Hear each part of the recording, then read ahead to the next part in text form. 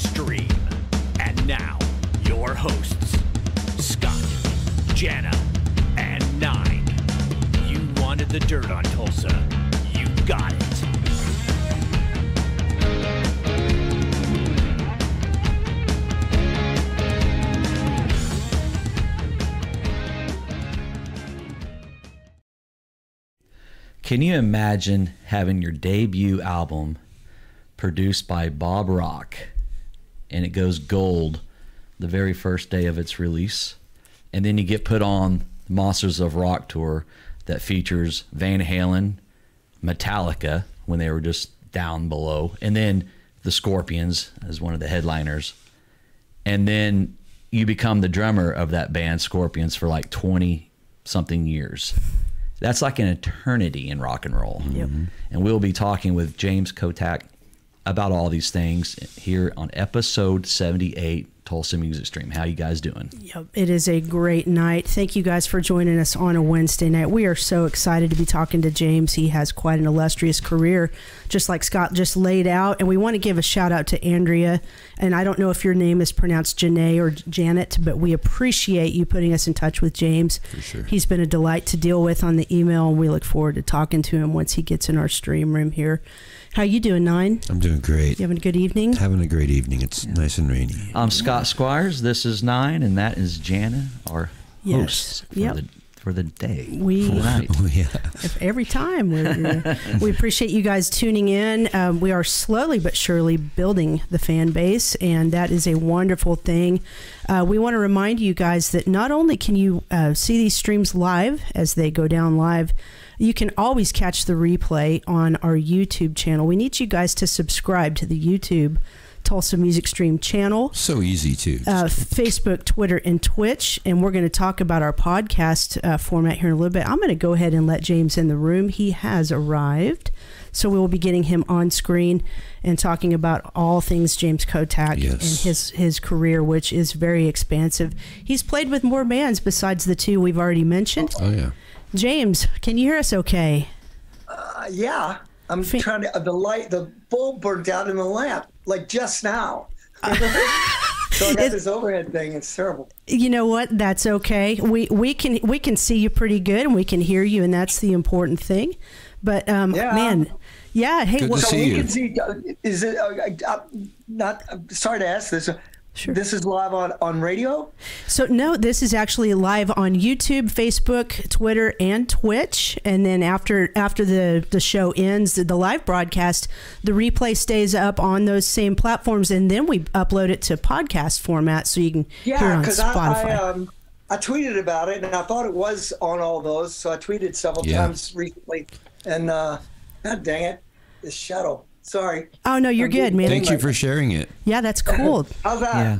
Well, we do It's have perfect, we dude. have we have people in the chat room, so they are listening and Yes. watching, and they'll pop. We'll ask some questions know. Mhm. from from Yeah. your fans in the chat room, if that's all right. You're looking good, and man, your hair has gotten so long.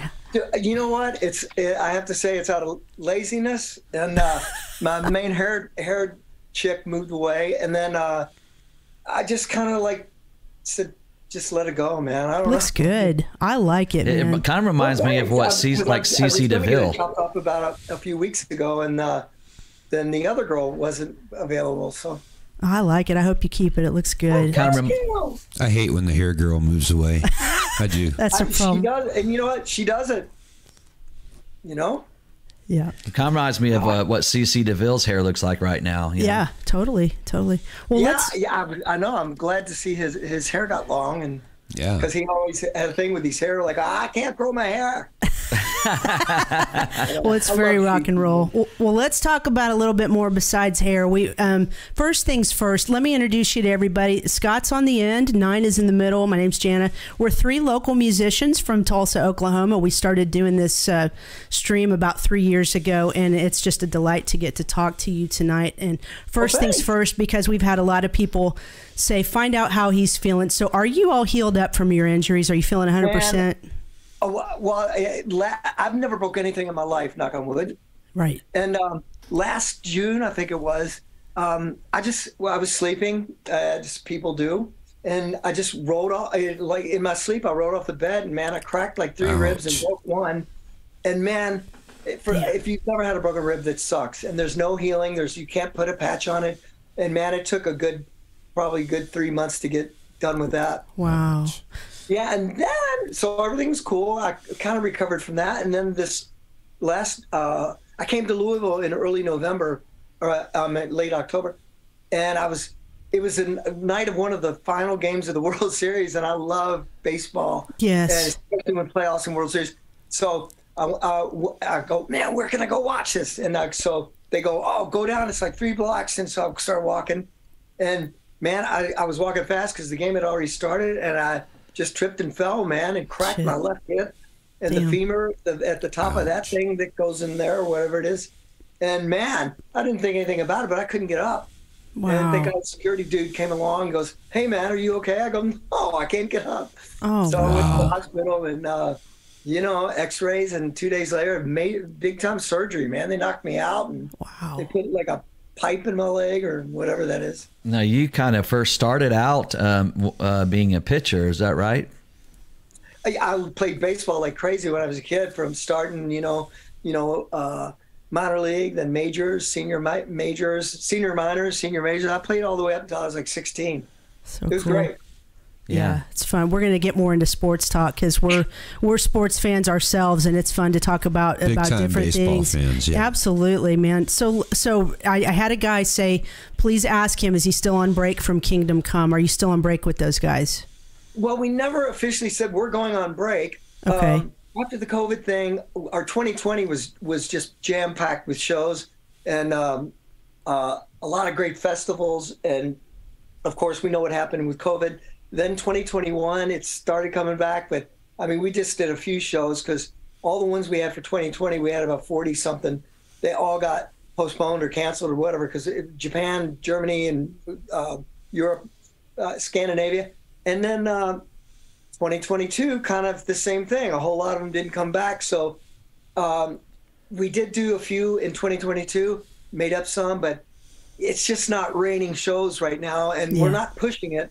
We kind of let things come to us. So we're doing that, and we're in talks uh, with, amongst the band about you know doing some new songs Right. because um, so we're not like going, oh my god, we got to play. We're like, when it comes to us, we'll take it. Sure. Sounds like a good Yeah, plan. absolutely. Yeah. Scott, Let, let me know, like, how did you guys first get in, into with with Bob Rock to produce your first album, uh, Kingdom Come? I mean, that's just Yeah, like a uh, major score right off the bat for you guys. Well, uh, a little history here. Um, I I went on a cattle call audition, and there was like fifty something other drummers, and uh, I got it. And the bass player and guitarist was Danny and Johnny. They were already there, and it was Lenny, and there was another guitarist. Then uh, that guitarist wasn't working out. We got uh, Rick Steier in, and during this time, the uh, the producer, I mean, I'm sorry, the guy who sung the, the sung the band was actually Lenny to Polygram.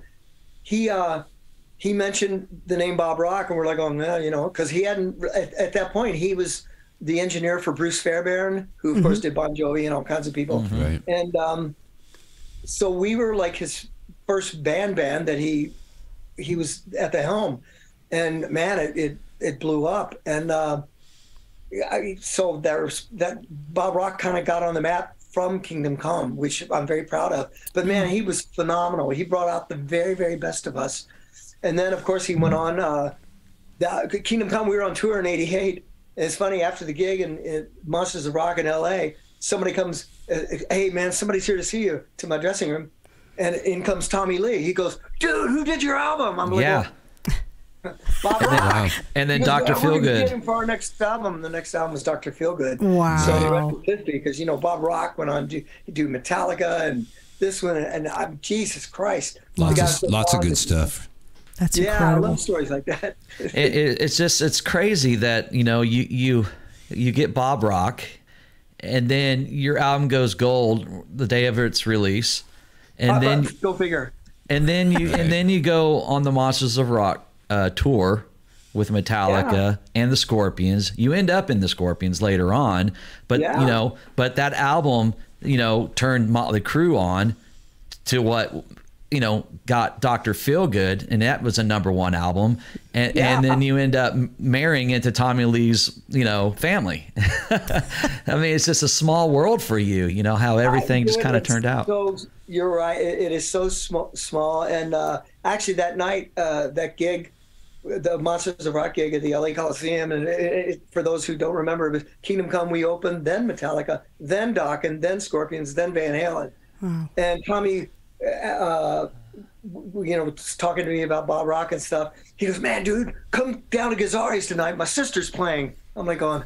I was fried, man. I was tired, and I go, "Oh, okay, cool. I'll see you down there." And, and I went, I went back to my hotel and took a nap, and I got up and I went down there, and Tommy, he's wait uh, at the front door. He goes, "Dude, come here." He takes me up, and we go upstairs. He goes, "Hey, this is my mom and dad." I'm like, going, "Okay, cool." I thought it was gonna be your sister. so he took me back, and I met her, and she's like, "Oh, oh hey, dude."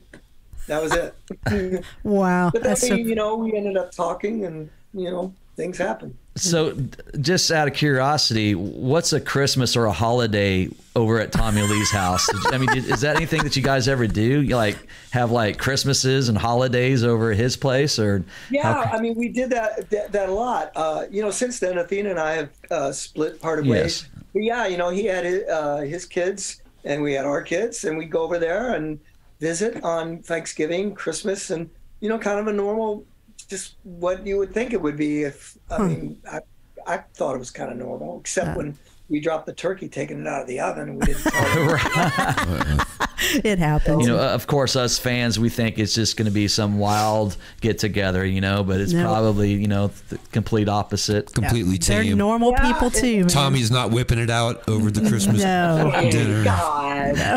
no, but uh, actually, uh, part two to the story. Uh, uh, Athena and I did get married in Tommy's living room, and um, Wow. the, the only people that were there were the uh, other four Scorpions, um, and a couple other people, and um, so go figure. Who knew? So Right. tell me, so so I know stuff happened kind of fast for Kingdom Come, but then it kind of came to an end quickly as well.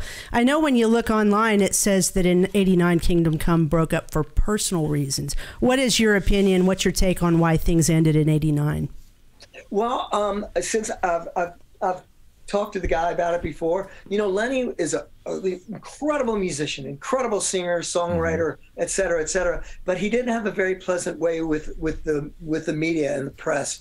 You know, I mean, we I remember we were doing People magazine, and they were asking him, you know, typical People magazine type questions, general mm-hmm. stuff, nothing about you know music. And, and he was like, "Oh, what are you asking me this for?" And he mm-hmm. would go off on him not and he didn't realize he was being that way. It just came off that way. Right. so we didn't get a very fav- favorable uh, oh there we are. There you are. um, and uh, we didn't get a very favorable favorable reputation with the media because he was doing most of the interviews. And um, so i mean that was a bit of it. And it just you know um, I, I, partly our manager was going through a divorce at the time and he wasn't really he started off mega hands on and then he kind of like wasn't around and you know it's like letting the uh, letting the um, inmates run the asylum at that point. Right. you know, That but, had to be a yeah, bummer. Had to be a I- bummer yeah, for I you. I loved it. huh It had to be a bummer for you to suddenly you just go to an audition, you make this band, your album blows up, and then like in just a matter of time, Yeah, well, we did the second album, uh, In Your Face. We did that with Keith Olsen, who's another phenomenal producer. You know, Keith did Whitesnake and, uh, gosh, uh, Fleetwood Mac and and uh, he, uh, the Rick Springfield and the Foreigner and you name it. And um, so we were in good hands on the second album too. But by then, the damage had kind of been done with the media, but it still sold a lot of records, and we toured uh, and went all over the place. So. you know, I love the video for uh, "Do You Like It." It's just so oh cool. yeah, that was a two-day shoot, man. Oh, And, wow. uh, it was that was great though. I, I, every second of it. That's so cool. A lot of lot of fans, a lot of shit blowing around all over the place. Oh my god, but that was like this 450 Chevy engine mounted on a thing that they Oh, rented wow. from the movie people, and it was really blowing the stuff, and that stuff really did hurt, but it was Wow. fun. So when I heard your story, I, maybe our viewers don't know it. I'd like you to retell it, but I was a little surprised at, at what made you fall in love with the drums. Would you share that with our viewers? How you how you discovered the drums and what made you love them? Um, you know, it, was funny. I started playing trumpet like in third grade, maybe fourth grade. I always get that wrong. And at the time, we lived pretty close to a department store, and the department store was going out of business. And it was like really odd. They had bands there like every day, and then they had bands every night, like bands playing cover songs, like you know the hits of the day. And man, I would you could sit like 15, 20 feet away from the drummer and watch. And I was just mesmerized. Tell you, I'd never seen a drummer up close. And although I just started playing trumpet, I go, man, I want to play drums. Yeah. So uh, coincidentally, my brother's friend had a drum set for sale for 50 bucks. My mom fronted me the money. I cut a lot of lawns for that. And I just started and I was just obsessed with it, you know? Yeah. And um, it's one of those things. Then I discovered the Grand Funk Railroad live album, and I listened to that eight-track tape over and over, and tr- learned that drum solo and everything about it. And uh, you know, I, it was just one of those things. I just, I was just passionate and flipped out over it. I, I never would use the word passion before, but I guess it works. You know, I, it takes a special talent, and it takes you have to really be in good physical condition. You have to have a lot of stamina to, to play the drums. What would your advice be to someone who is new to the instrument, who wants to play them? And like, what advice would you give them to really stick with it and until they kind of get over that learning curve and get through the hump there? Stay in school. Stay in no, school. uh, man, uh, honestly, join That's a band as fast as you can because that is the fastest thing to get you. Like, oh my God, I got to learn this song. Oh, I don't know how to play it. Well, I better learn it. And then Right. get with some guys. You know, it, it doesn't matter whether they're good or they're older or younger. Anything, just get in a band. That's my best advice. And also take some lessons, man. I had lessons for like about a year and a half. My dad paid for it. Thank you. Yeah. And uh, but it was just all this rudiments. I never touched a drum set, but I'd get home and I'd just put put on Led Zeppelin four, the eight track tape, Yeah. and play like crazy. And you had supportive parents too. That helps to have really supportive parents. Yeah. yeah, well, my dad played Hammond B-3 organ. He played these dinner clubs, and my mom was the coolest ever. And uh, she was always, you know, I mean, I'm down there beating drums. It's like blaring up through the house. Yeah. And she said, I'd always say, "Hey, do you mind if I play?" No, go down there. Oh, that's great. That's so Yeah. cool. Makes all the difference in the world. So, so tell, uh, you know, in today's world, you know, you're playing with so many bands, and there's, you know, you have the online, you know, rock sites, and they're always putting out all of these articles, and a lot of them are, you know, are just kind of unfavoring the musician himself. You know, of course, you got this the, the Sweden Rock Festival thing that happened and everything, and, and how does one at at your level deal with these type of new- Criticisms. criticism on a constant basis. You know, there. I, I'm fortunate. I haven't had a whole lot of criticism over the years. Um, yeah, but they're going to say on your best day. I mean, even Scorpions, we got reviews that said maybe they should hang it up and this stuff like that. And you know, in one ear and out the other, you ignore it. Sweden Rock, I had some major problems. I thought I could pull that one off. But that was I I had just broken these ribs maybe like a week before, and I went there and I thought, oh, no problem, I'll just plow through it. And I had a little problem with that. Um, I, and you know, a couple uh, people, you know, said some things about it, and like rightfully so. I had a terrible show, and that's one out of the thousands. So you just kind of go, oh well, cool. Here, wait for the next show and move on. And I, I just I, I never would say I take it with a grain of salt because you do have feelings about it, but you can't dwell on it. You just read it and you go, oh, okay, cool. Right. move on. Seems to me like the best thing is just almost not to even read it. I mean, especially now with social media, it's so Oh, brutal, and people are just, they're so brave because they can hide behind their keyboard, and it's just really ruthless. And I find when I tune out from it, I actually feel better. Yeah, you know, I, I'm I'm I'm kind of like that, but it's almost impossible between Twitter and Facebook and Instagram, et cetera. And uh, you know, it's it's almost impossible. Somebody's going to say something, or Yeah. there's going to be a review, and or there's going to be this, or there's going to be that. So you just kind of got to go with the flow anymore. And uh, Sure. it used to be, I mean, you know, before all this interweb stuff. Um, uh, Al Gore called it the interweb, by the way. And uh, you go, you you just um, you know, you would do an interview and you wouldn't even read it or see it for like, you know, a month or two when Right. it come out Yeah. in this magazine or Rolling Stone or wherever. It's immediate and, uh, now. Yeah. Huh? Immediately now. Yeah. It's, Yeah. Yeah. And it's kind of cool on one hand, and if it takes a lot of the mystery out. I mean, I follow some some people on on uh, Twitter and and Facebook that I I follow Gene Simmons, of course, and Paul Stanley, and I mean they post like almost every day. But it's interesting because you kind of feel like you know them because I actually have met them guys several Right. times. Really good good people. But then you read on read it, and it's a whole different. Uh, it's a whole different uh, way of Vibe. looking at them, you know. Yeah. Absolutely. Definitely. Yeah. Like one of the news uh, articles I, I read is, you know, when you spent, you know, what, 33 days in, in jail um, overseas or in, in a different country. I forget what country it or was was. it India, I think? No, Dubai. Dubai. Dubai. Wow. And, and you said something that, you know, I guess you're wanting to release a, a book about your time there in, in jail and everything. Um, how far uh, are are you serious about uh, releasing a book over that? Oh, oh, absolutely. In, in the book, it, it, I I just started, you know, keeping a a, a, a daily like what what do you call not diary? What do you call it? Like a uh, Like a blog. uh, well, not even a blog. I didn't have Just my a daily ledger or something. ledger, whatever you want to call it. Um, and you know, I, I started writing, and you know, and I, and I go, I go, and I started writing and kept writing. And next thing you know, I had uh like 190 pages front and back that I'd written, and I just kind of covered everything. I mean, it, it covers, you know, I hop back and forth, kind of like Pulp Fiction that did, like where I start off, you know, uh, you know, talking about, oh my God, how did I end up here? And then going back to where I started, and then I'm talking about this, and talking about my kids, talking about Scorpions, talking about this band, that band, and everything in between. Because I always thought about, hmm, you know, I've read all kinds of books. I've read Slashes and Sammys and and Duff. Duff's book is excellent Yeah. for everybody out there.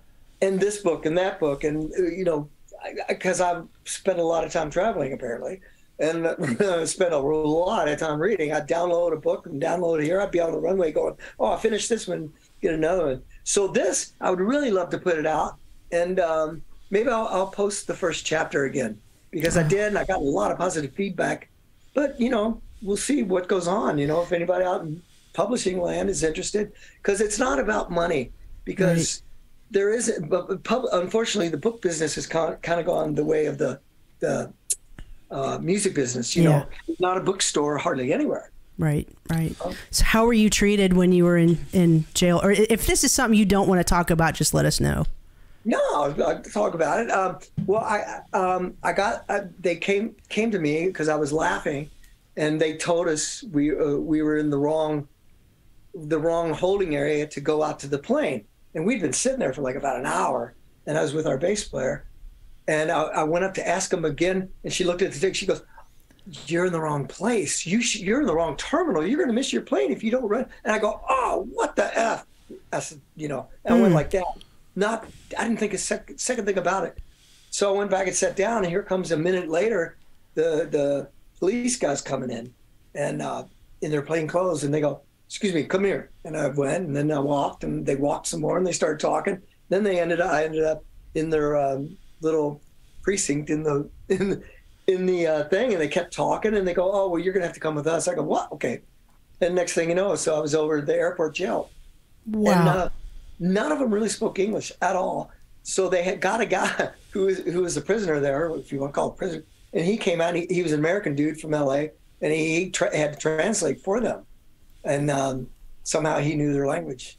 So uh, one day went by, then two, then four, then six, then seven, then five. And, you know, they, I had to go. I did a court thing, and they go, "Okay, you're done in 28 days." I'd already been there like 26 when they told. Holy crap, man. I know. So, So this is all kind of a because is this all because you said fuck in the airport?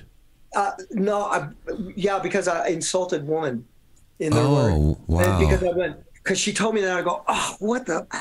Yeah. Oh, wow. And, because I don't, I don't, never really cussed hardly at all. I just never did. I always had kids and stuff, and Right. and um, so it was just kind of a misunderstanding and that, and then they just, there you wow. go.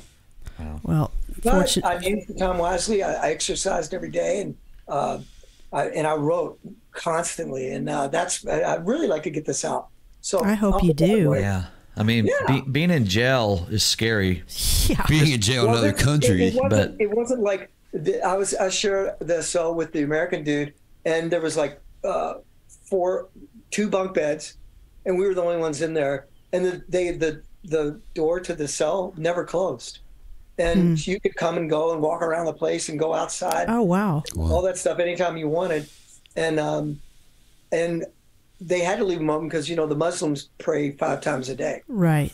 so and they do that, and uh, but you know I mean now I say it wasn't so bad, but man, it really you know it's most, mostly having your freedom taken away really sucks, you know. But there, you know there was a payphone, there was a this, and you know I made the best of it while I was there. Good for you. I do hope that you that you you write about it and put it out because I mean, Totally. just as you said, you read you read Duff's book and you read all those guys' books, and so you know, much like you, I can I like to read musician stories because I can relate to them in a lot Yeah. of ways, and not not that one particularly, Well, but yeah, I can relate yeah. to them, you know. So I always find those books interesting yeah, me too. too. Me too. Yeah, you know, uh, it was funny because I, I read Ozzy's book, and Ozzy's book was great, and it's interesting, pretty funny. But the whole time I'm reading it, I'm hearing his voice in my head the whole time. And I, I, I read pretty fast, but reading his book, I had to read it like, well, you know. And then Sharon came to me, and Can you imagine an audiobook version of that? How great would that be? oh, it'd be hilarious. So, hey, let's talk about your time with Scorpions. Obviously, I'm, I'm assuming your relationship was built with them during the tours, the Monsters of Rock tour, and then that you guys toured with them on the Savage Amusement tour. So, when you actually came to be a part of that band, talk about that process. And did you mesh pretty quickly with them musically? And, and was Herman already out by then?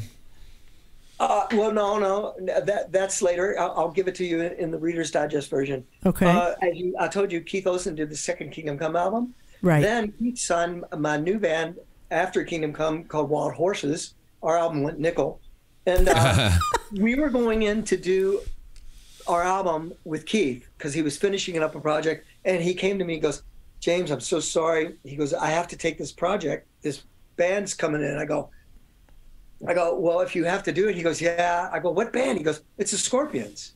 I go, well, of course. So we had to wait another three months or four months before we could start our album. But while they were there, I lived about a mile from the studio, and I'd cruise over there and visit and say hi to the guys, and you know, we had a rapport. And then uh, about a year or two later, I, I did the Mi- uh, the third MSG album with Michael Schenker, and uh, then around '95, I was doing another album with Keith because he hired me to play on tons of albums. And he goes, Hey, I want you to play on something. I go, What? What is it? He goes, I can't tell you. Hmm. So he put it on, and it was no vocals, and there was like three or four songs. And I go, Man, this sounds really familiar, hmm. you know, but it was drum machine. And and I go, yeah. So he goes, Yeah, just put some drums on it. So I went on there and bashed out like three or four songs in a few hours. And and I went to him and I asked him. He still wouldn't tell me, but I knew it was the Scorpions. So then, fast forward to spring of uh, of '96, and uh, I got a call, and uh, it was a manager going, "Hey man, would you be interested in coming over and having a play with the Scorpions?" I go, Wow. "Of course."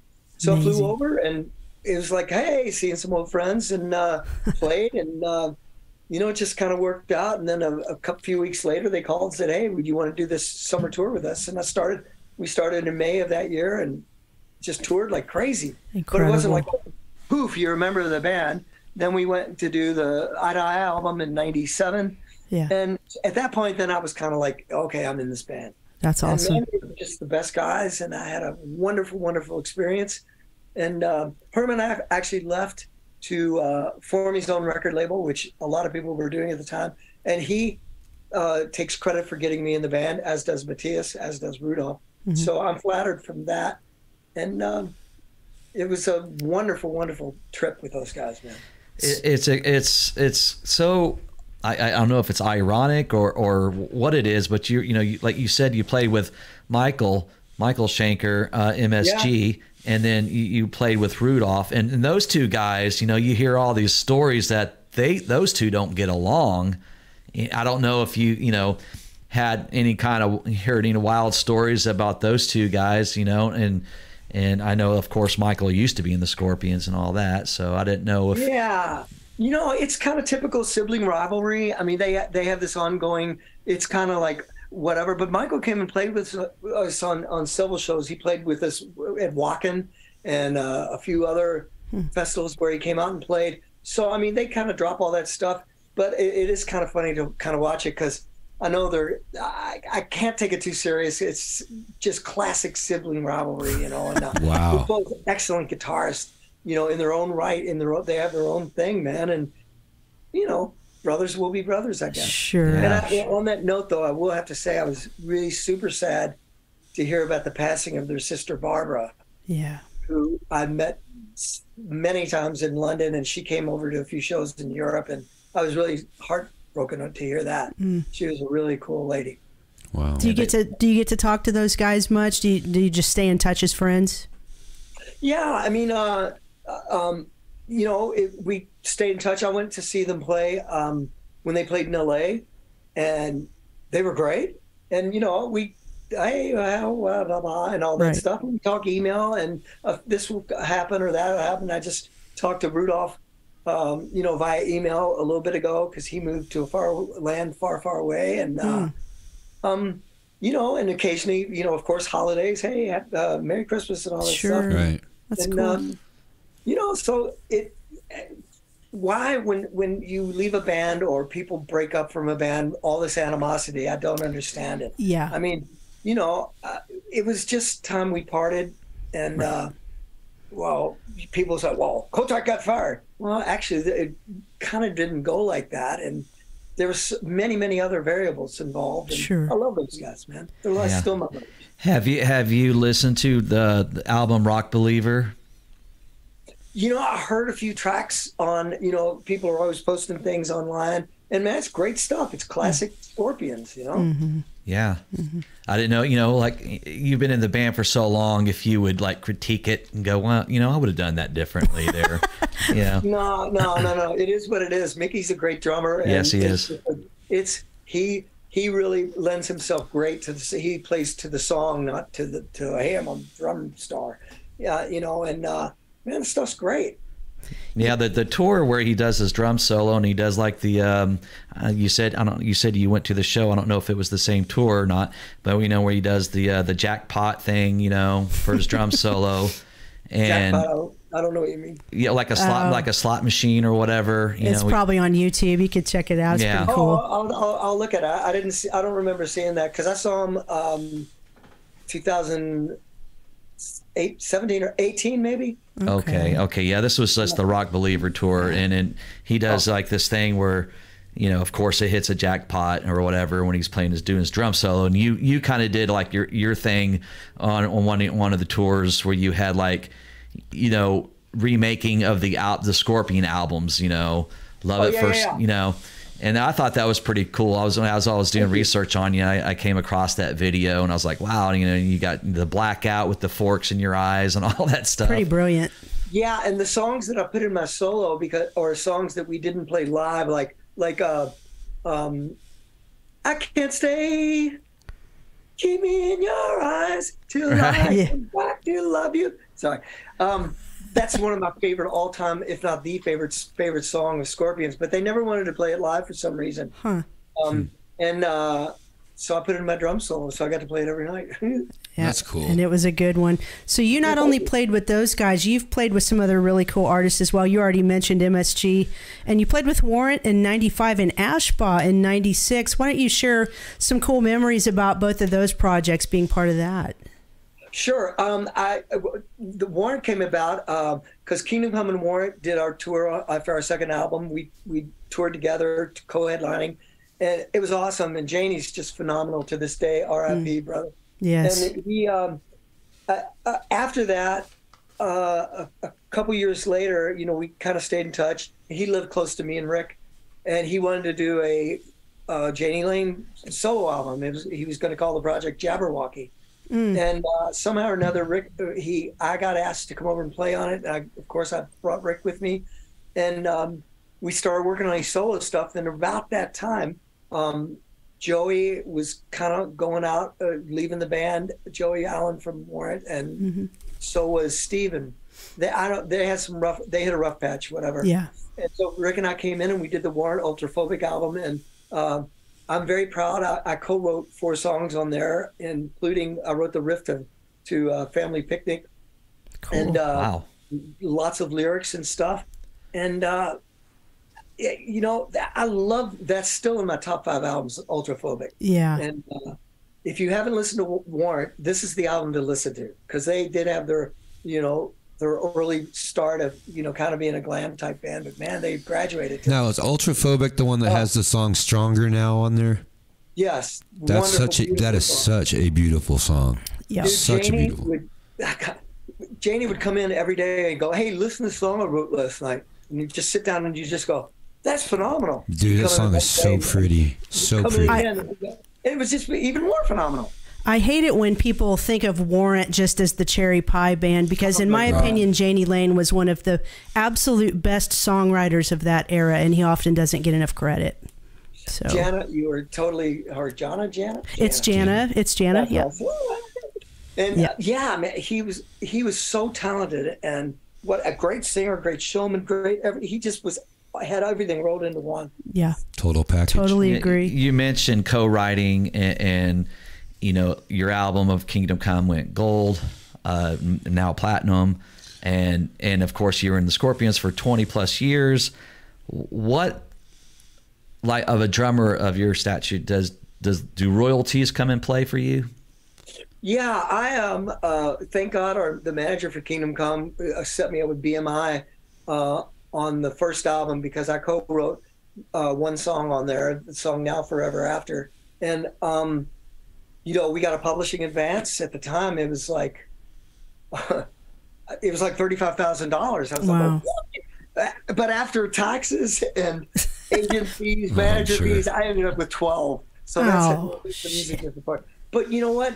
From then, I I always, even before that, uh, I, I was always ru- uh, insistent on writing, and I was always sitting around with a guitar or a keyboard, writing, writing, writing.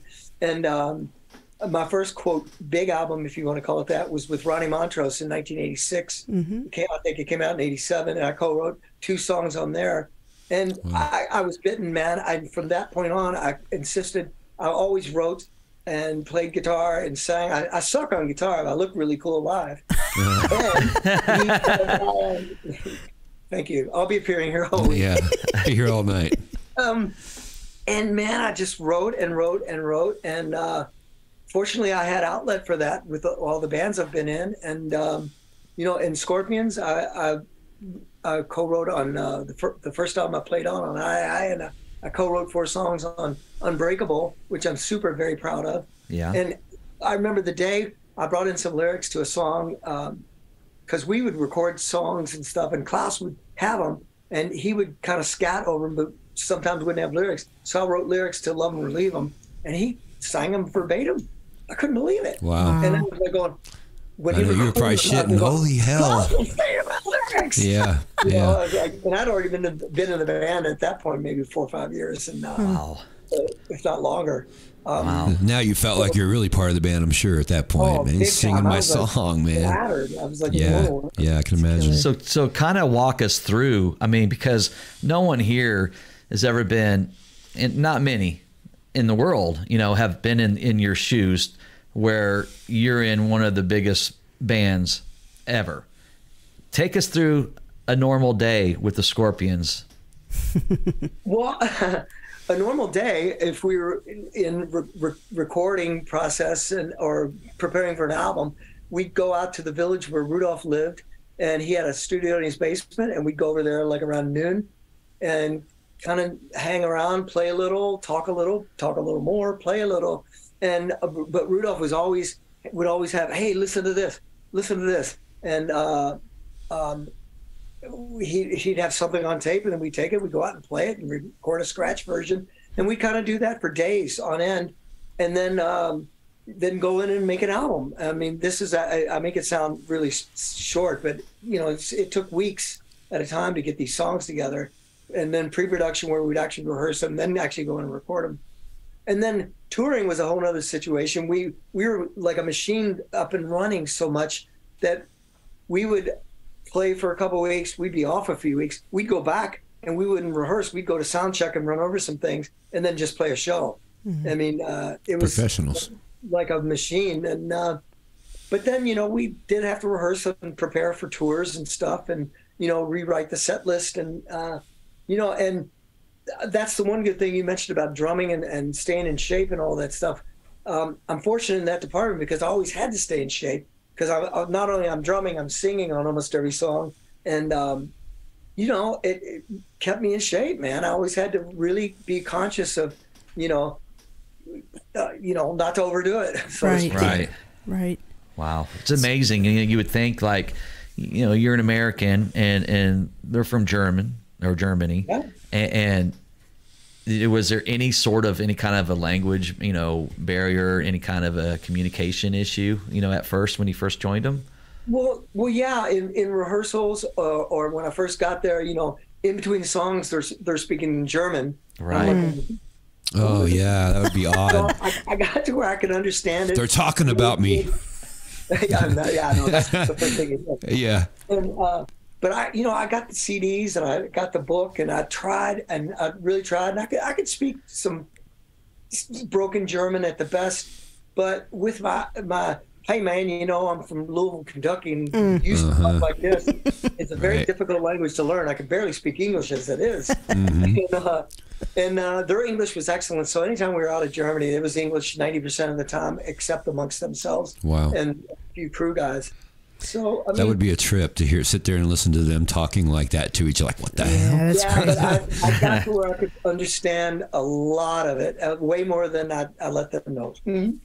Wow. So let me ask you something. It's a little different topic. Scott, who's at the end of the table, and me, we, we are married, and we're also in a band Aw. together. And and I know that you also, I know you're not with her anymore, but you were in a band with Athena as well. Yeah. Now I I bring that up because I want to say I know what challenges this pre- presents sometimes for Scott So and wait, me. you you and Scott are in a band together? We Yeah. are, we are. And they're and they're married. Yeah, we, and we do Oh, this I- stream together. S- But you know, sometimes there's challenges uh, being spouses in a band, but sometimes there's good things. What challenges did you find, and what good things did you find being in a band with your spouse? Um, well, I'll, I'll tell you, uh, the the only downside was we'd have if we had a situation at home um, amongst her and ourselves, or with the kids, or or just a general bad day, which we all have. Um, you know, and then we go to rehearsal. you- It would take a little bit to shake it off, but you know, Yeah. she could be on the drums. She'd take it out of the drums, man. She bashes, man. She hits hard. Right. And um, so we kind of would leave that behind. And then, you know, it was kind of cool uh, on tour. You know, we're together, we're hanging out, we're Right. off, we're playing shows tonight, we're going here, we're going there. So that was always fun because she she traveled with me a whole lot with the Scorpions, and you know, we did our thing. Um, it has its ups and downs, and uh, but as you probably both know, you have a little tiff, and then you got to go play a show Exactly. after a while, it just kind of drip, forgets, it goes away, and then after the show, you're like, "Oh, what were we fighting about?" about? You are 100% correct. I'll tell you the other challenge that at least I, I feel on my side, I never want my bandmate. No, no, no. This is not about you. Actually, I don't want my bandmates to feel like we're a two-headed monster coming at them because a lot of times he and I will differ on opinions or, or Right. approaches, and so it's all we from the get-go. We've always tried to let our guys know that we're playing with. Hey, we're two separate people. We may be a couple, but you know we're in a business together. And like you said, you have to leave the personal stuff at home and go do the business out there. Yeah, and you know, yeah, ex- you you totally. That's exactly what I'd said. I would Yeah. have said if I if I was told to say it, and um, it, it it is like that. And there were several times I can recall when when the bass player and guitarist were kind of like walking on eggshells because they knew they we knew each other so well. They knew that we'd been in a tiff Right. just before we got the rehearsal or whatever. They know us really well. Sure. Sure. But and they'd be kind of like, geez, you know. But Yeah. like I said, uh, once you start playing, it all fades away. Th- that's so true. Yeah. And that kind of leads me to my next question. And I, I don't know how many people have seen this. We actually just recently discovered this. I know this is like nine, ten years ago. You and Athena were part of Ex Wives of Rock, and that show did not really do the ex husbands any favors as far as it how is it how it painted you guys. Obviously, reality TV is not always reality. It's very embellished. But what go. you know, what were your feelings about being part of that, and then what were your feelings about the end product that ended up airing on television? Well, season one, it was talked about, and I go, sure, why not? And season two, I, I came in, it came to be involved, and um, they were, my character was more like the guy who drinks too much and is an idiot and screws things up, basically, if you want to put it in a nutshell. So we, we would uh, be shooting a thing, and where um, I, we'd go out, who knows where we were, and we I'd go up and pretend I was coming out of an apartment building, which wasn't my apartment, Right. and go and get in the car. And he would tell me to say one thing, and he would tell her something else. But we didn't know what we were going to be saying. Gotcha. So, like for one example, I, I remember I got in the car with her, and she was we were going to go somewhere, and and she starts driving. She goes, "Oh my God, you smell like booze." I go, "No, don't. I haven't been drinking." She goes, "Yeah, you have." You know, and so at that point, I'm I'm I, really wasn't drinking. Blah blah blah blah. And then another time, you know, I was out in the garage uh, at our house, and um, um, we we were actually living together at the time, but we were ex. We were supposed to be together. And I went out in the garage, and I actually really did go out there to open some wine, and uh, and I dropped the. They were because they were just shooting something with Athena inside, and I was out in the garage, and I really li- did drop the bottle. And about that time, the producer, my director, whatever you call, it, he happened to open the door and come out, and he goes, "Oh my god!" I go, "Yeah." He goes, "Hey, can you do that again?" oh, geez. Wow. Oh man. So we picked it up where the bottle was already broken, and they opened the door, and I was like down here, like, and look up at the camera, that sort of thing. So, Wow. and, you know, there was another time where you know, I, I had had a couple of drinks, they, and he comes up and goes, "No, James, can you act a, can you act a little more drunk?" Oh, shit. well, yeah, you know, so that's the kind of thing, the whole thing about it. But I actually had a lot of fun shooting that stuff, and you know, uh, that that were some of the better times with Athena. Not Yeah. always, but most of the time. you know there was a lot of lot of personal uh, situations you know with with your you know the divorce and, and the drinking and everything and and did you ever feel like wow this this is kind of painting me I don't know like the bad guy here I mean did you ever think in like in long term it might you know hurt things like your career and things like you know everything Uh, like you that know, not at- not at the time, and and you have to remember, not everybody's watching that show. A lot of people are, but um, you know, I really didn't give it much thought about that because I know the truth. You know, yeah, I've had a few bouts with, with booze over the years, but uh, you know, what the what people don't know is all the years that uh, that I was sober, 2008 to 2011, and here a year, and there a year, and uh, when we our kids were in the oven, and um, you know, I, I spent a lot of time not drinking. Um, and then I had my moments when I did drink. yeah And that doesn't mean I'm falling down drunk, walking around with a bottle around the house, you know. Right. So, um, yeah, but I really didn't really give it a lot of thought. It was a lot of fun, and the band didn't really care whether I did it or not. You know.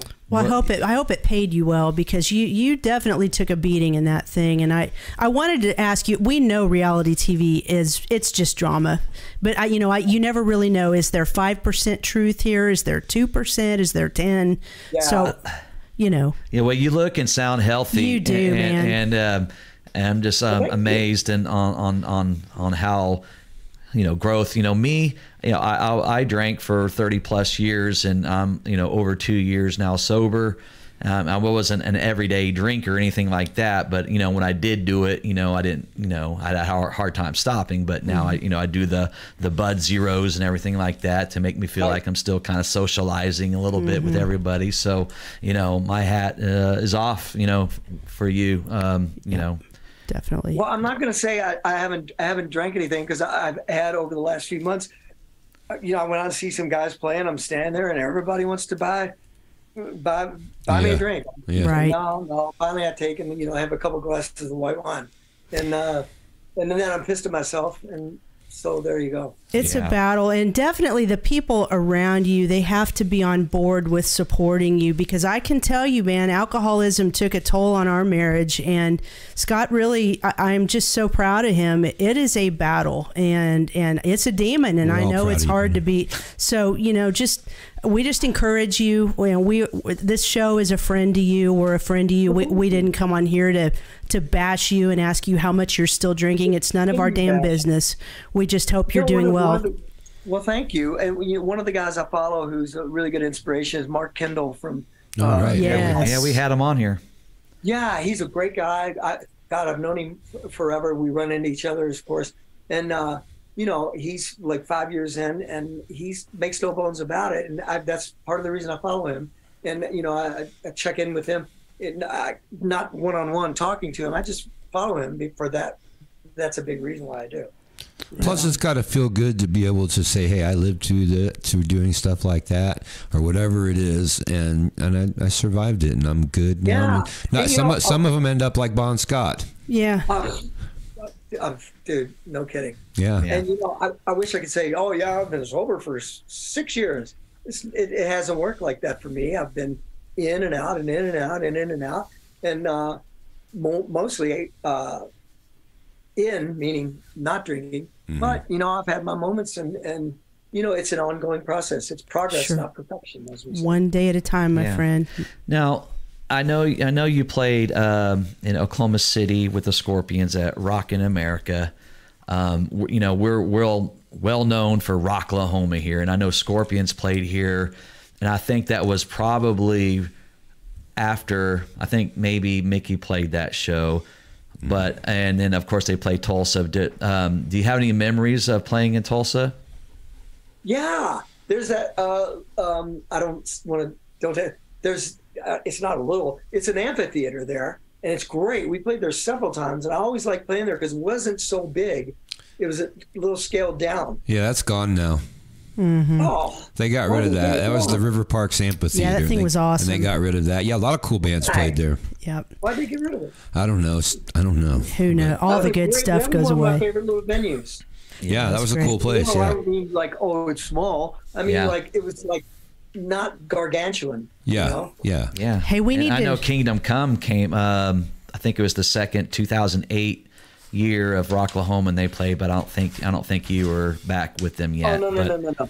We uh, I started talking with Lenny in 2010 because uh, we did a tour of Russia. It was Kingdom Come, Alice Cooper, and Scorpions, and Lenny was around. We all were on the same plane together, and we talked and chit chatted. And I said, "Man, why don't we um, do the band? Because Scorpions were saying farewell. We're going to be done in 2012 or 13." And then fast forward to 2013, and I'd already had been talking to agents, getting Kingdom Come back uh, on the map, and I had my my person my project uh, Kottak going, and um, I was working on a thing with Kerry Kelly for a new Revenge, and I get a call. I say, "Hey, we're, we're going to do another Scorpion album. We changed the Wow. band. We're not going to retire." I'm like going, Now you see, you see why no band should ever say farewell. That's right. Because none of oh, them work out that way. that. None of them work out that way. Now, I'm going to get in trouble if I don't ask you some gear questions. One of our good friends, Kelly Ensley, he's a sound man and also a, a drummer here. He says, "Ask some gear questions, please." So lay it on us. Are you are you still endorsed by D Drum and Yamaha drums? What's your what's your gear of choice these days? Um, well, I was with D. I was with D Drum for for a lot of years because my, my friend Elliot, who I knew from Tampa, Florida, back in, the '80s, uh, ran D Drum, which was partners with uh, Dean Guitars. So I did D Drum, and um, because I wanted some Dean guitars too, because I, I love guitars. They made me like four custom uh, Explorers, and Nice. uh, and they were phenomenal.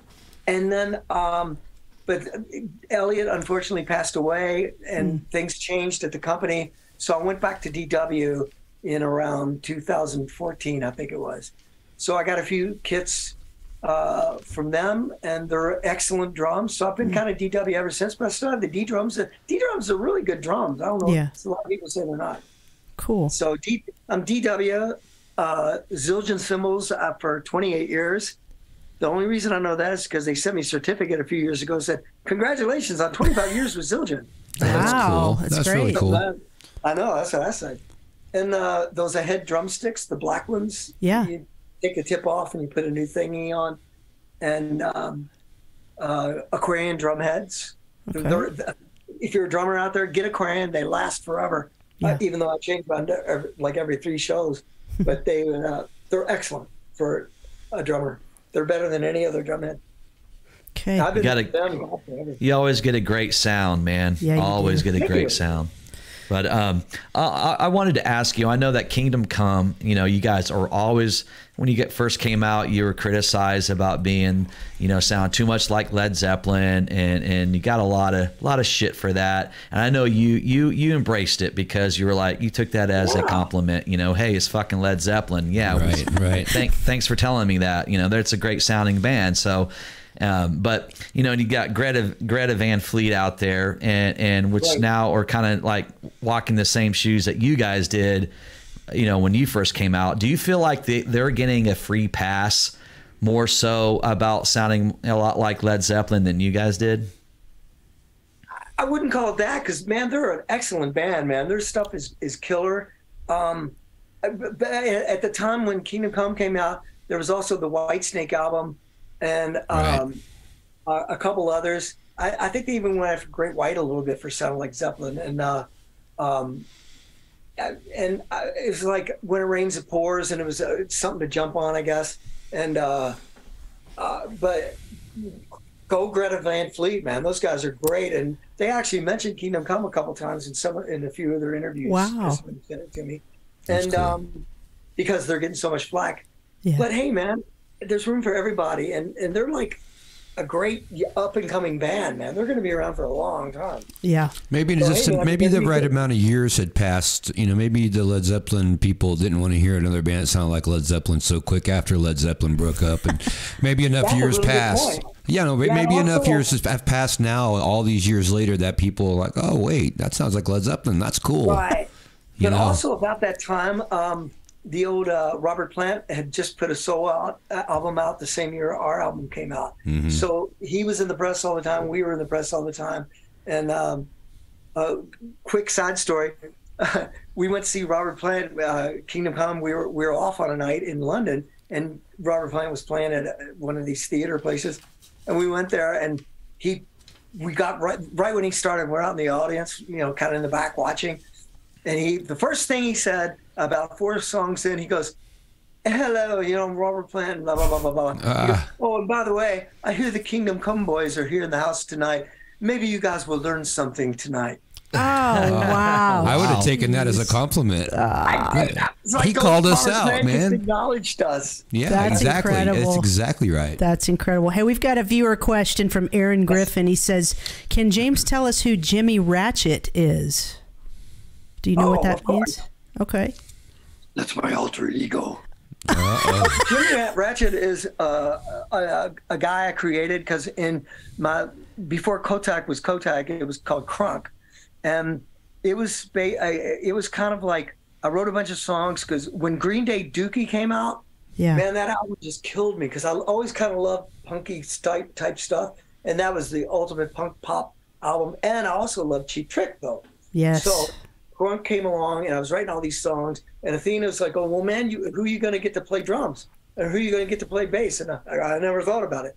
So I went and did an album. I got a friend of mine, uh, actually Rick played guitar on it, Rick Steier, and Athena goes, "Well, I'll play drums." I go, "Well, of course, she's a great drummer." right. And um, uh, but I didn't want to go by James Kottak because I wanted to be somebody new, like uh, uh, Like like Garth Brooks, Jim. Uh, what would he, what did he call himself when he tried to be the Chris Gaines? Right. Yeah. yeah, exactly. Yeah, exactly.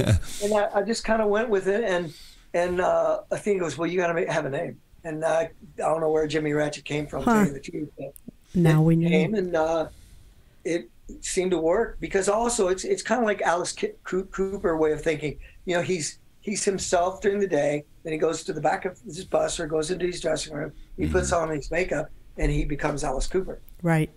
You know? Makes sense. He, he said that many times, and uh, Yeah. he's really like that because he's a super nice, coolest guy. Oh yeah, he loves golf. Yeah. Yeah, he's a golf golf fanatic. N- Now, the person that hooked us up with you, and I Andrea. really, I don't know if it's Andrea Janae or Janet. I, I'll, Yes. someday I'll. It's you know who Andrea is, correct? Yes, and I want to say make a shout out to her. I wanted to say thank you very much, um, and uh, I really really appreciate it. Yes. She had also hooked me up on another interview about a week ago, and unfortunately I could not get get into my phone. It was a disaster. Aw. Whatever, I ended up missing the, the interview. So I, I owe you one, Janet. We're Andrea. glad you're here tonight. Then. Well, she's well, got a she's got a question for you. You may or may not know the answer to this. She says, "When is Kingdom Come starting to make new music?" Well, we're actually talked about that we recently, and uh, um, you know, everybody goes, "Well, go make an album." Well, I'm like, I'm more like leaning more towards, well, let's just do like three songs, put one out, see how it goes, then we'll make an album. Um, because anymore, you can do that. You can try before you buy, and Sure. and Right. test the waters. Because Kingdom Come is a band that's been before, and we don't have Lenny. We have Keith St. John on vocals. It's a totally different animal. Right. We're the same, the four of us. Um, and Rick is like write a million riffs, Rick, and uh, we all write. Everybody in the band, band writes, and uh, so we'll we'll get to that. It's coming. It's like I said, we're not pushing so hard to quote a great song, Right. and um, we'll see how it goes here. Cool. Cool. Sounds Uh. Elizabeth English Talcott. She, uh, she's in the chat room. She's she's made a lot of. Uh, I guess what do they call those chats? I don't know. But anyway, she says uh, people still love to buy Rockstar books. Mm-hmm. Amazon, yeah. baby. I guess Hell that yeah. was over your book. Yep. Um, Yeah. can't. Oh, you already you already asked that one. Um, lo- love me some warrant. Uh, gel in the San Fernando Valley days. Um, he put a heart on that. I'm not sure why. These are viewer comments that are coming in. Some Well, comments. Uh, James is looking and sounding good and healthy. Yes. Love it. Yes. I That's just joined awesome. the Ramones. There no, I was going to say, did, did somebody let Whoa. somebody let cousin it into That the room? that hair it Give me a is really long. Jeez. I know, have I- I- Uh, Jerry I- Crittenden says, um, I met James in the late 90s, that Sound Warehouse 74 South Penn with Warrant in late Jani Lane. How did the Warrant drum position come available? Well, like I said, uh, uh, myself and Rick Steier live pretty close to Jani, just like Yeah. just a couple miles away. And word get travels fast. And uh, I'd heard about Jani wanting to do some solo stuff, and somehow uh, my name came up, and uh, Rick comes in, and we started writing with Jani. And then it wasn't really moving the way Jani wanted it to. We recorded all kinds of songs. Those songs are great, and um, then it just kind of morphed. Uh, we kind of morphed into into Warrant because, uh, like I said, uh, uh, uh, Joey, Joey. Allen and Steven Sweet were on the outs with them. I don't know, you know.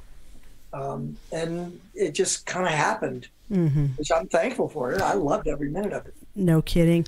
Travis Arnold asked, Does James stay in touch with Herman Rarebell? Yeah, he, Herman came out to quite a few gigs here and there o- over there, in in Germany mostly, and uh, he come around. He's you know we were friends uh, since from the day we met. He's a super nice guy, and um, it's not like we chit chat on the phone, uh, but we, you know, we talk when I see him. You know, You know, I've been sitting here all night looking at that gold album on the wall and still can't figure out what it's for.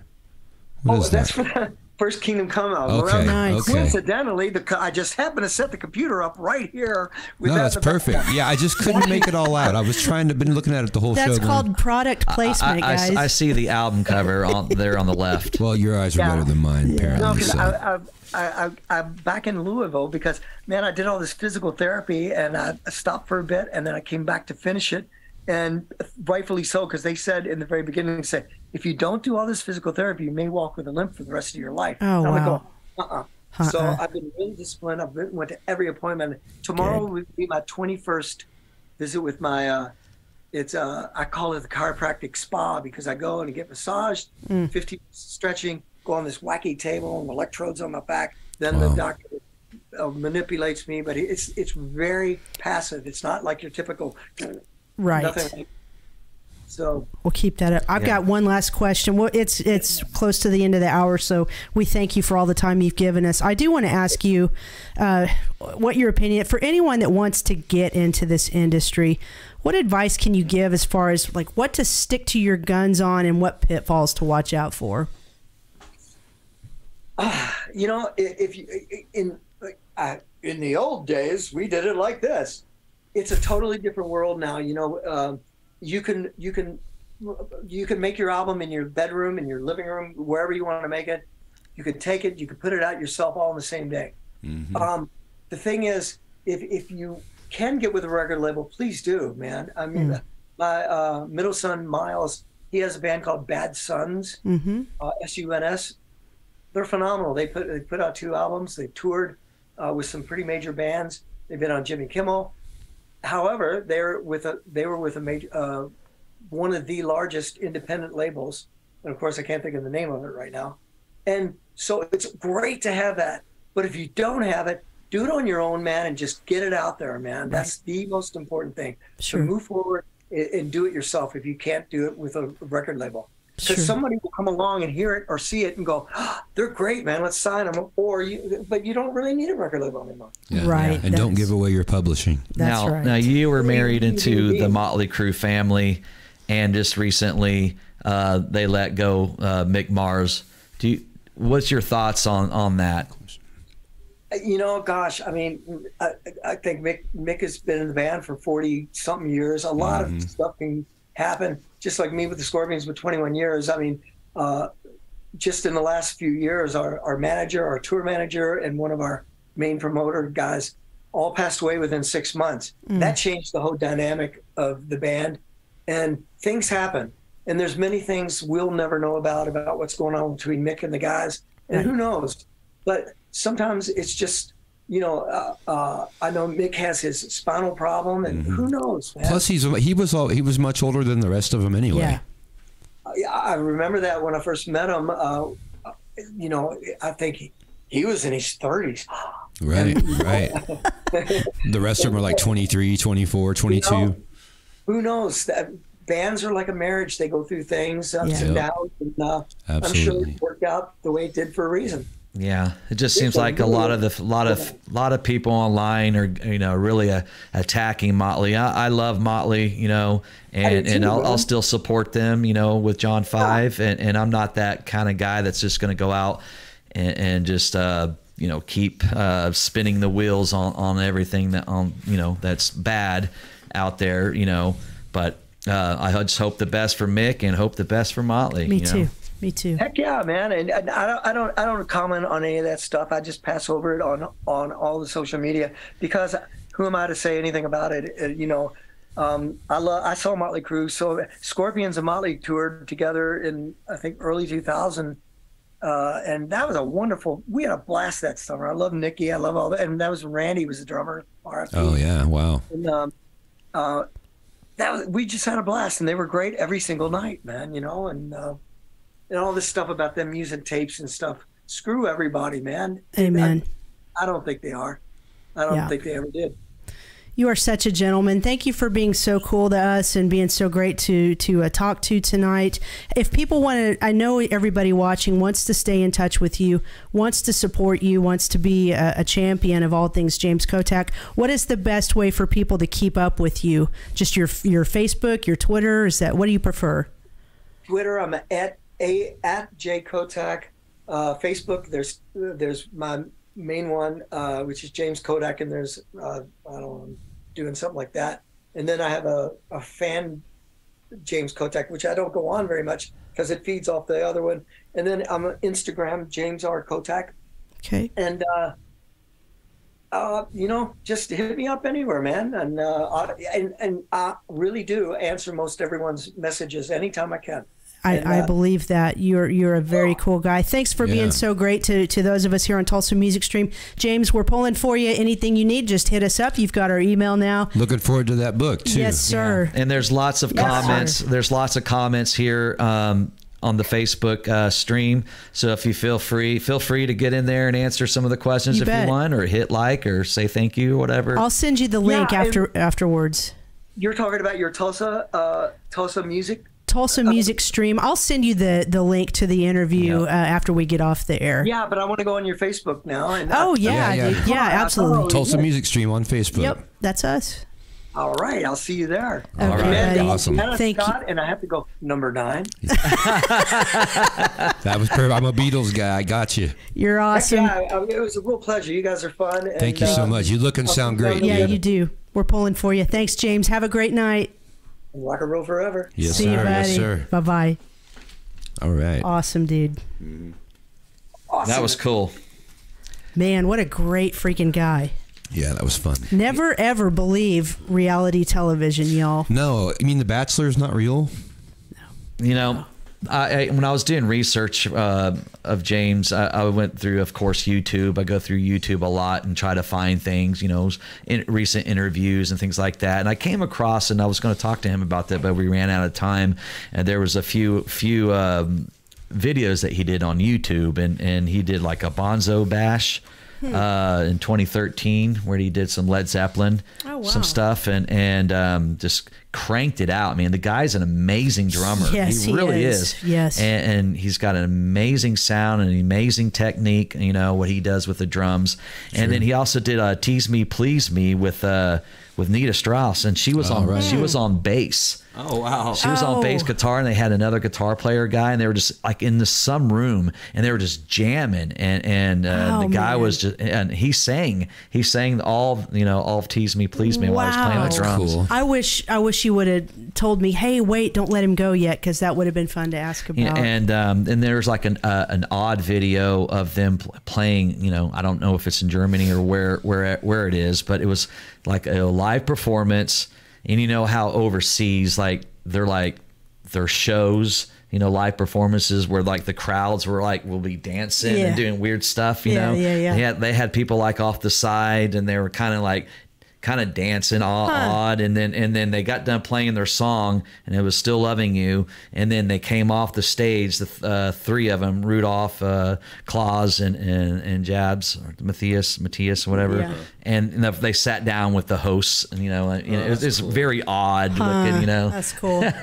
yeah, definitely. Uh, look look up some of his his solos and stuff online. The guy is a monster in a good way. He's For he's, sure, uh, yeah. He's definitely one of the top drummers out And there. And he likes baseball. And we forgot to talk about our Yeah, baseball team. he- Man. he's a Yeah. dodgers fan Oh, he is. Okay, well then you know, uh, James, I'm a Padres fan, so uh, I didn't want to go down that road. cardinals fan here. yeah, yeah, Uh, it's so he you know he doesn't like neither one of our teams right, right. That's okay. We, you know, maybe we can. Uh, I'll bet he'd be open for a part two down the road. Part two, the baseball episode. He's he's, he's looking good, sounding good. Uh, we are definitely uh, pulling for Yeah, him. and thank you, uh, Elizabeth, uh, for sending the stars, 500 stars. Thank really you, appreciate that. If you guys have it in you, man, send us some stars, man. It helps us um, keep the ball rolling a little bit. And, you know, Back there's. to the stars. It does. It helps buy the equipment that we need to replace. And, and just the time it takes for certain things, like Janet, it took her one one full day just to edit a, a video that we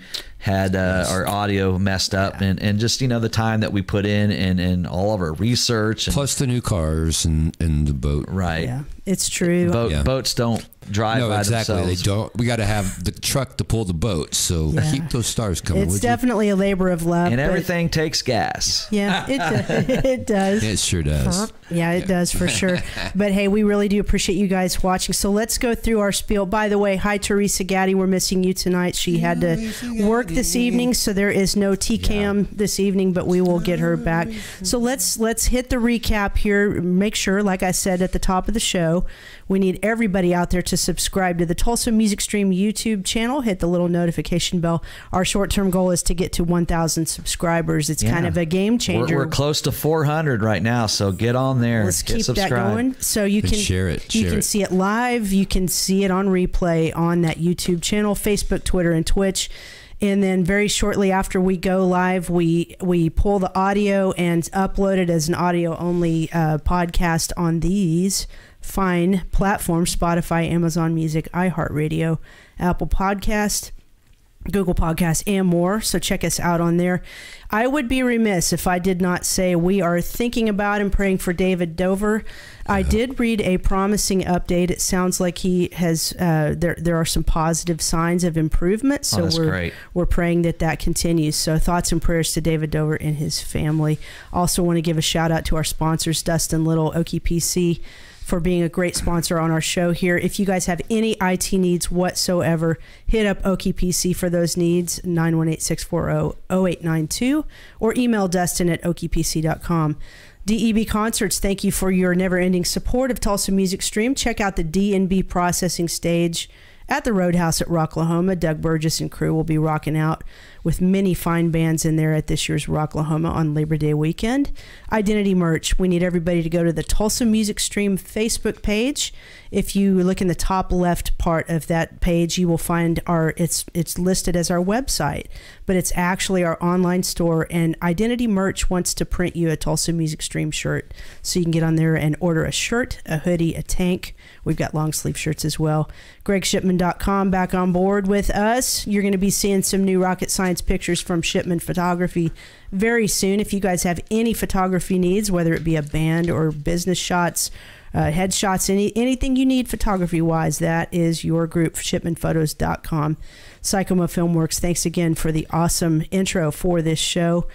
And we need to talk about one more thing. If I can find it, here it is right here. This is what we have coming up this Friday. Winger is coming. Quick turnaround Friday. Kind of an odd time, but if you can't watch it live, you can catch the replay. It'll be at 3:30 p- p.m. Central. Kip Winger of Winger this Friday, April 28th, and then the next episode after that is, I think that that one will be episode 80. Friday, Wow, May 19th at 8 p.m. Central. Ronnie Younkins of Kix. They're not letting me wear my Beavis and Butthead winger shirt. No, so no, you can just not. have to imagine that on me. I, I told Nine, I said, it looks like we've got about 30 minutes with Kip, but if you wear that shirt, it's probably going to be 30 seconds with Kip. It's so true. So we don't want to do that. I won't wear the shirt don't freaking do it, or dude. or the Lara shirt. yeah, don't do that either. Anyway, what else you guys got before we sign I just off? want to say thank you to all the people that continually tune into us Yeah. uh, every episode Definitely. and are always there sending the stars and you know you know who you are all the people that Yes. are always Yeah. here thank Steve, you guys Steve so much Eubanks is in the house. Hey, Jim, Steve. Jim Millette. hello Steve hey Jim Elizabeth Talcott, what's up Travis Arnold Derek Thrasher's in here, Michael Chabola down in Texas, Travis Arnold, all you guys that Coot tune Dixon. in faithfully. We appreciate you. We cannot do this without you. Absolutely no thank you guys so much And share the replays for us, guys. We're just trying to grow yeah. it. Yeah, we're, we're you know, it's just uh, just putting Tulsa on the rock and roll map. You know, one stream at a time. It's you true. know? He's not lying. Yeah. Guys, we will see you back here Friday, this Friday, April 28th at 3:30 p.m. Central. Kip Winger of Winger will be on with us. Have a great week. See Rock solid interviews, baby. one show at a time. See you next time. good night Good night.